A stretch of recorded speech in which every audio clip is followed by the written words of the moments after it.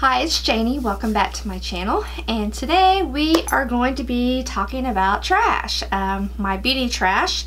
These are the products that I have used up during the month of April. And I'll just kind of do a little mini review and show you what I used and go from there.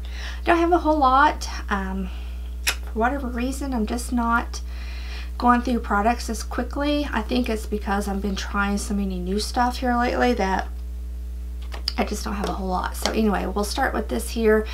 This is a shower gel um, from Bliss. It's the Lemon and Sage Soapy Suds Body Wash and Bubbling Bath. I did like this. I don't think I would repurchase um, just for the, the simple fact that once I get through all of my stash of body products, body washes, I think I'm just going to stick with Dove and just be done with it because I there's so many of them that have so much fragrance in them that they irritate my arms so I just don't want to risk it. I know the Dove works so um, but anyway it was nice. It was a different a nice scent to it. My husband liked it. He likes lemon scent and so he helped me use it so and it had a lot of bubbles and so it was okay. Yeah it's good they're a little bit on the pricey side, but you can find, I see them all the time like at Marshall's and TJ Maxx, so keep your eye out for them there. Then I have an eye mask. This is from Boscia. This is the Sake Brightening Hydrogel Eye Mask. I bought these during the Sephora VIB sale. I've only used this one. Um, I don't really, I didn't care for it. I didn't think it was that great. Um, it wasn't as moisturizing as I thought it would be and it was very hard. It didn't want to stay underneath the eye long enough for it to really penetrate in there. They kept kind of slipping around and I was trying to lay in my bed and be still so they didn't slip and slide but uh, they're and they were pricey too. I think they were like so $15 for three I think which I thought was kind of high but um, no I wouldn't repurchase those and then I have these little eye masks that I did like. Now these were sent to me and I did a full review of these and I'll put a little card up here. But it's the V2 Oxygen Eye Mask and it's for an eye mask that's for overnight. I've used three of them and um, they help with depuffing under the eye. Um, it was a, a, like a silicone type material that was next to your skin on your eye and it had a little bit of like a um, almost like a stickiness to it where it stayed put and then when you got up in the morning everything was kind of depuffed and brightened looking so I did use up three of those. Oh boy a couple of um, bath products that I did not like um, I think yeah this is the Dirty Mermaid Sea Kissed, oh this was the Sea Kiss mask. This was not a, a bath product. That's why I was looking at it. I thought it was the mask. But anyway, okay, this was sent to me with an order, and I forgot the company that I ordered from. But anyway, this was one of the samples that they sent to me. Okay, so let's kind of start off. Start over. This is the Dirty Mermaid Beauty Sea Kiss Mask with organic seaweed and coconut milk. So it was one of those masks that you um, mixed water with it. And I was real excited when I got it because I haven't tried any that are along those lines that you mix water with it and put it on your face and you know create a mask. Oh no, no, no, no. This was gross. okay, first of all, I'm gonna see oh, if you can kind of see in there a little bit the green powdery substance that's in there. And this stuff stunk it stunk okay? I don't like going swimming in lakes in ponds in oceans because I can't get over the funk smell. And this had that smell. It smelled like I was putting dead fish on my face and I did not like it. Um, when I mixed it with the water it looked gross. No. No no no. Did not like that. No. Not in the lead no. Didn't even like it I didn't think it did anything for my skin. Uh, all it did was just gross me out. So, no. And then also from Dirty Mer Mermaid, this is one of the products that I actually ordered. And this was a um, bath soak here and I didn't really care for it because it had pieces it was supposed to be like a rose one and it had pieces of actual roses and I just don't like anything floating around in the tub so I didn't really care for that either I definitely won't re repurchase this and I definitely won't go back on the website and purchase that little guy Ugh, no. I mean I appreciate you know the fact they sent me a, a sample but mm-mm, yuck. Okay all right we're over that. Then I had a little sample of the Urban Decay Optical Illusion Complexion Primer.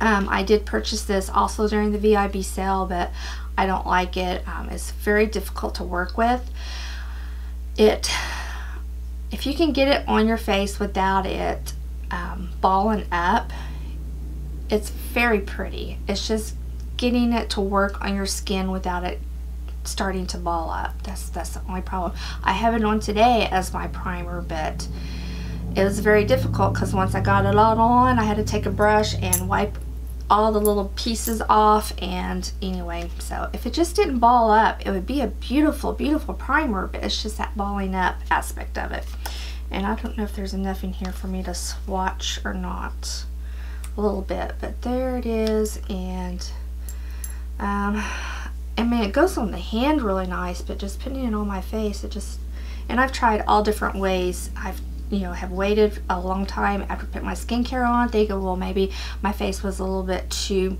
too damp from my moisturizer, but it still did, which is unfortunate because I really like the way it makes the skin look, but anyway. Then my trusty makeup wipes. Uh, you thought I wasn't going to have one because I usually leave off with this or lead off with this. But this is the Epielle Original Clean Facial Cleansing Towelettes from Big Lots. I buy these in bulk. Whenever now, I usually go in and buy like six at a time. These are cheap. They're $2.50.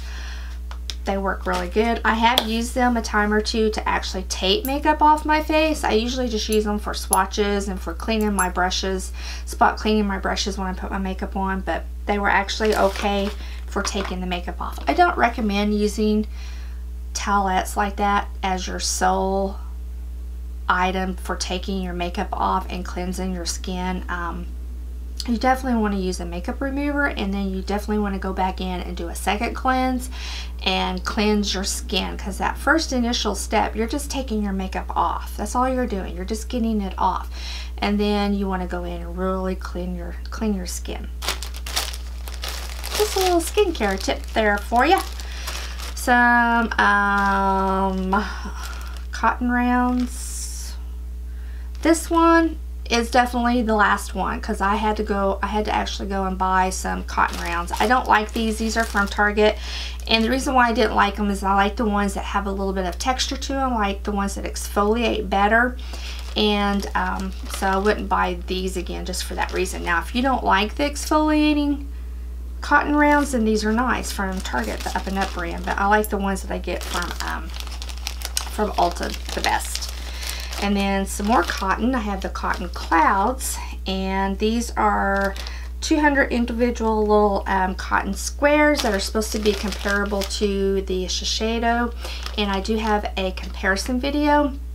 It's an old one. I did it a while back, but I'll put that up there also for you to look at. But um, I have those that I've used. And then some more little cotton squares that I have used. And this is from the brand um, Cremorlab. And this came with a essence, a water essence, which I've only used like this much of that water essence, but I used up all my little cotton rounds. These were like little cotton pillows. Um, they were like this big. I wish I would have kept one to show you, but they were just like a little pillow. They were a little bit puffy too, just like a little pillow. And um, I liked them, and I I was researching because I thought, well, I, I really like these. And I did find that Ulta actually carries something very, very, very similar. So I will, if I can remember, hopefully I can remember, I'll put a link down in the description box about with for those little cotton pillows that Ulta sells. Anyway, so, um, Peach and Lily website, if you if you are interested in Korean skincare, you need to check out the Peach and Lily website. Um, they have a lot of good products on there, and this was the box that those little cotton pillows were in that I used up. Okay, I did my feet. Um, this is the Baby Foot Exfoliant Foot Peel. And um, my last empties, I had one in there that I said I didn't like, that it didn't work, it did nothing. This, on the other hand, my goodness, this stuff took the top three layers of my foot off.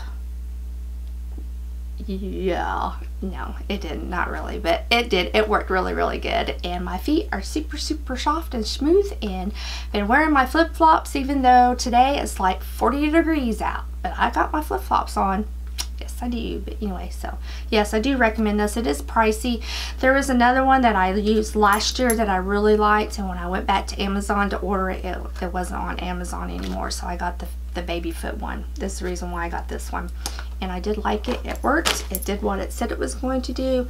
It just takes a while to to do it because you do have to sit with those little foot footlets on your feet for over an hour and then you have to wash your feet and um, they recommend that you not get up and walk around or if you have to just very little and so that's the only downside is you're kind of confined to your chair with that on. Okay, this next product I liked in the very beginning. This is from Drunk Elephant. It's the little Lippe um, that they have. I guess it's just called Lippe. Anyway, it was in a kit that I bought back during um, the Christmas time holiday, November. It was in a kit. And when I first started using it, I really liked it. It was very moisturizing. I kept it by my little bedside and used it every night. But toward the end, it started getting this horrible, funky smell. I can't even describe the smell to you. I mean, I, I don't understand what that smell is. It's just weird. I don't, I don't know. But anyway, it didn't smell like that in the beginning, so it went off. And it's not like, you know, I waited to use it and it was, you know, old. I started using it right away out of that kit so I don't understand why it started getting that funky odor to it but because there was there's actually enough left for like another probably month in there but I just can't get over that smell but I did use I mean I used like a lot of it I don't know if you, you can see how much I used there quite a bit but anyway so I would not purchase that just for that reason alone is that it just went off so I don't know. And then I my last item is this item here. And this came in a Memebox a long time ago. I'm still trying to get through a lot of those products that I got from the Memebox. And this is called the Pink Piggy. Pink Piggy Char Char. I don't know. And I couldn't tell you anything that it's supposed to do because it's all in Korean. But I kept the little box because the little box was just so cute. It's just pink. And it's called Pink Piggy. It was a moisturizer. I used it during the day. And it came with a little spatula so you didn't um, contaminate the product by sticking your fingers in. And it was the weirdest type material product and I still have a little bit in here because I saved a little bit because I wanted to show you.